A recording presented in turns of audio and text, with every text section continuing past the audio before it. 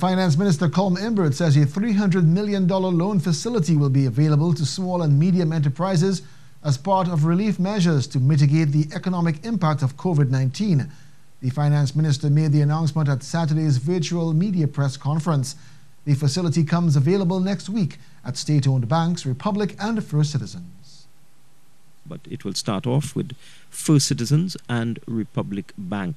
And that program provides $300 million in a loan guarantee program to small and medium enterprises, which we have defined as enterprises with an annual turnover of between 1 million and 20 million. He said the loan will be interest free and there will be a two year moratorium on principal payments. Depending on the size of the organization, from $75,000 up to $325,000 and these are intended to assist with um, payroll expenses and other operational expenses. The government will pay all of the interest on these loans, so the loans are interest free for small and medium enterprises, and the government is also guaranteeing 75% of the loan.